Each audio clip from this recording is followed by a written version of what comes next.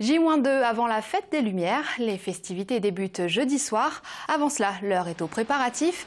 Un peu partout en ville, les équipes techniques s'activent.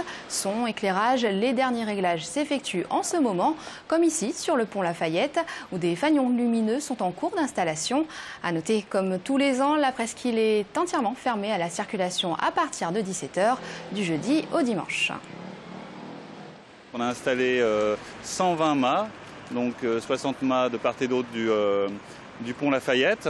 Et j'ai un traitement en lumière avec des, des LED. Et on a 240 projecteurs qui vont permettre de créer une animation aussi bien en termes de, couleurs et rejouer encore sur les couleurs avec les fanions, mais aussi sur des, des dynamiques, des mouvements, un petit peu comme un grand bandon lumineux, journal lumineux.